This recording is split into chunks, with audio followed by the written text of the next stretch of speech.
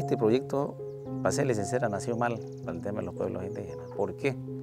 Porque en su momento, inclusive, mire, ustedes vinieron ¿no? y invitaron a una reunión y dentro de la reunión hicieron firmar una, una planilla, una planilla de asistencia. Y esa, esa firma este, la querían utilizar como que si nosotros ya hubiéramos estado de acuerdo con la propuesta de proyecto que teníamos. Entonces, eso ha sido una de las dificultades que hemos tropezado al inicio de nuestra primera gestión. Hay problemáticas de agua, de salud, educación y otras cosas, son sus obligaciones de cumplirla a la comunidad.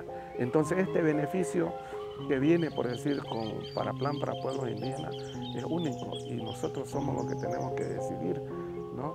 Porque yo le pregunto, las necesidades son muchas de las comunidades y no pueden estar jugando de esa manera con nosotros.